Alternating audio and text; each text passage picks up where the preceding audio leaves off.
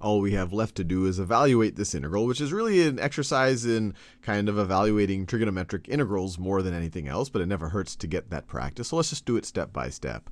So we see sine cubed theta. No obvious way to directly take the antiderivative of sine cubed theta, but if we had some mixtures of sines and cosines there, then we could start uh, essentially doing u substitution, which at this point you probably can do in your head. So what we could do is we could write this as a product. So we could write this as sine of theta. So I'll do it, this part right over here. This is sine of theta, sine of theta times sine squared theta times sine squared theta. And sine squared theta can be rewritten as 1 minus cosine squared theta. So this is the same thing as sine of theta times sine of theta times 1 minus cosine squared theta. And if we multiply this out, this gives us sine theta, sine theta minus sine theta cosine squared theta. And this is much easier for us to integrate, although it looks like a more complicated expression because it's easy to take the antiderivative of sine theta.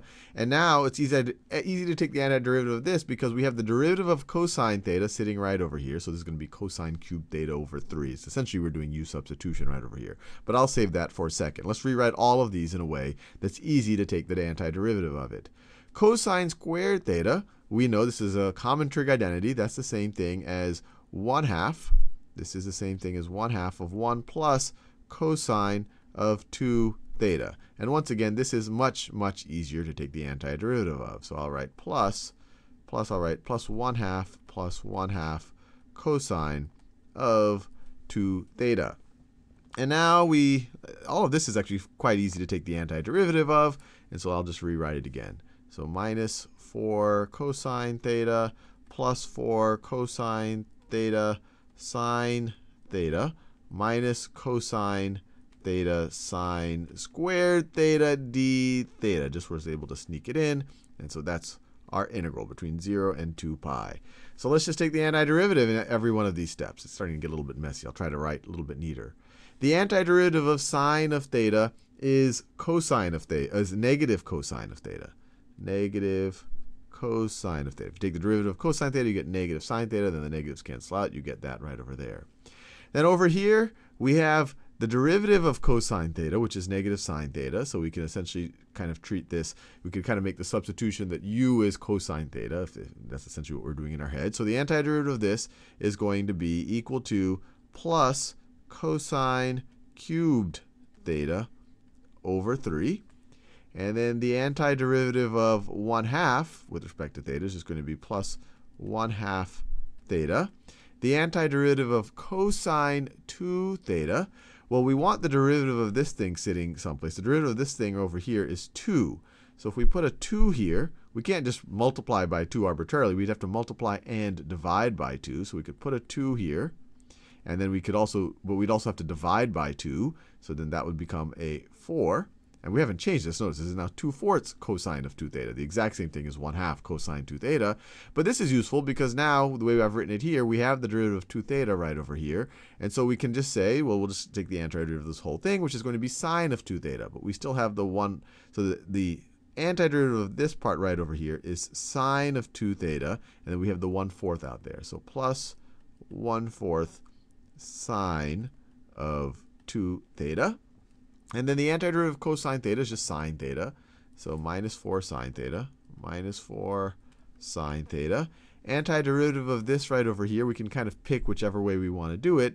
But we could say, well, the derivative of sine theta is cosine theta. So this is going to be the same thing as 4 sine squared theta, sine squared theta over 2, over 2. Or instead of saying over 2, instead of writing that 4, I'll just divide the 4 by the 2, and I will get a 2.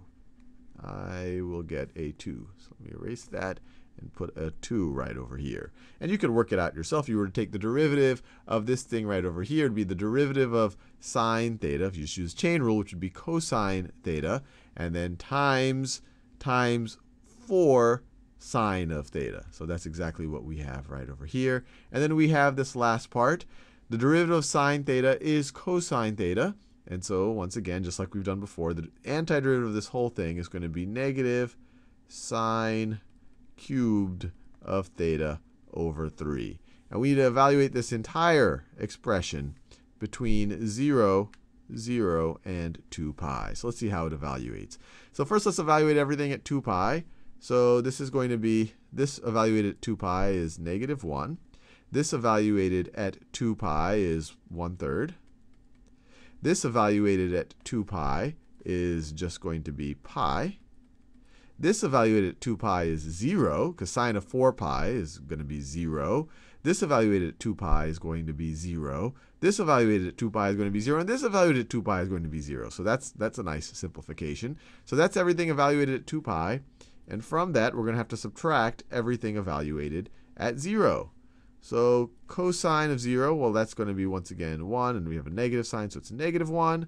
Then you're going to have plus 1 third. And then you're going to have 0. And then all of these other things are going to be 0. And so if you simplify it, you get this is going to be equal to negative 1 plus 1 third plus pi plus pi.